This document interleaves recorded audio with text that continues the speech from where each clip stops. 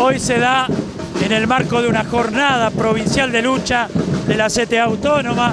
Esto es los gremios estatales, ICOPA, judiciales, los agentes legislativos, las organizaciones sociales.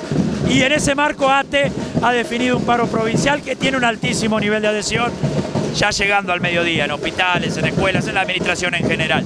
Eh, ahora vamos a marchar a la gobernación como último, punto último de encuentro. Previamente vamos a pasar por la Fiscalía exigiendo el fin del intento judicial de los desalojos de los distintos barrios, porque entendemos que la tierra tiene que ser para quien la trabaja y para quien la necesita para vivir, y no para el negocio inmobiliario.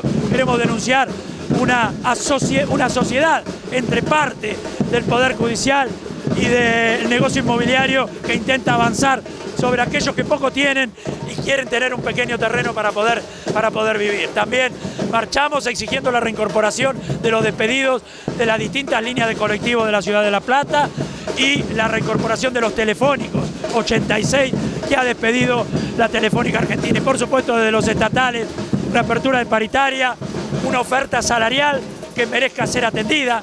Estamos planteando que la oferta tiene que ser no menor al 22% de bolsillo, porque ese 22% nos permitiría recuperar lo que hemos perdido en el año 2016 y también la continuidad laboral de más de 15.000 trabajadores. Exigimos que se le termina su relación laboral eh, el 31 de diciembre. En esto es importante destacar que fruto de la lucha hemos logrado el compromiso paritario del Ministerio de Salud y el Ministerio de Trabajo de la continuidad laboral de 5.000 becarios y reiniciar el proceso de pase a planta permanente. ¿Hay convocatoria para estos días o todavía no llegó? Todavía no ha llegado formalmente, por distintos medios ha salido, algunos funcionarios de alto nivel del Ministerio de Trabajo dicen que sería el martes.